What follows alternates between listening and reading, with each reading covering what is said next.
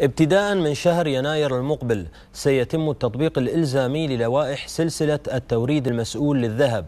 هذا ما كشفت عنه صفي الصافي مدير إدارة مواجهة غسل الأموال بوزارة الاقتصاد. مشيرة إلى أن تلك اللوائح ستعزز من تجارة الذهب في دولة الإمارات.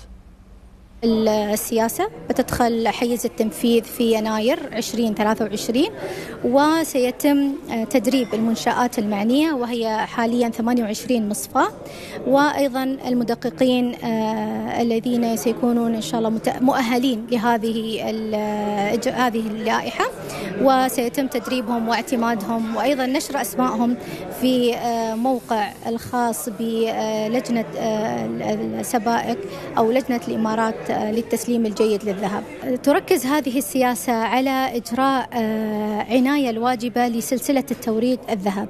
المقصود بالعناية الواجبة هي توثيق مصادر الذهب وتتبع التسلسل التوريد من مصادره حتى وصوله إلى دولة الإمارات فعلى الشركات تعيين طرف ثالث للتدقيق على هذه الإجراءات وأيضا وضع إجراءات داخلية وتعيين موظف امتثال هو المسؤول عن تطبيق هذه السياسة. هذه اللوائح ستعزز من تجارة الذهب في دولة الإمارات حيث أنها ستفتح مجالات أكبر للتجارة الدولية وسيعزز أيضا من مصداقية مصادر الذهب في دولة الإمارات.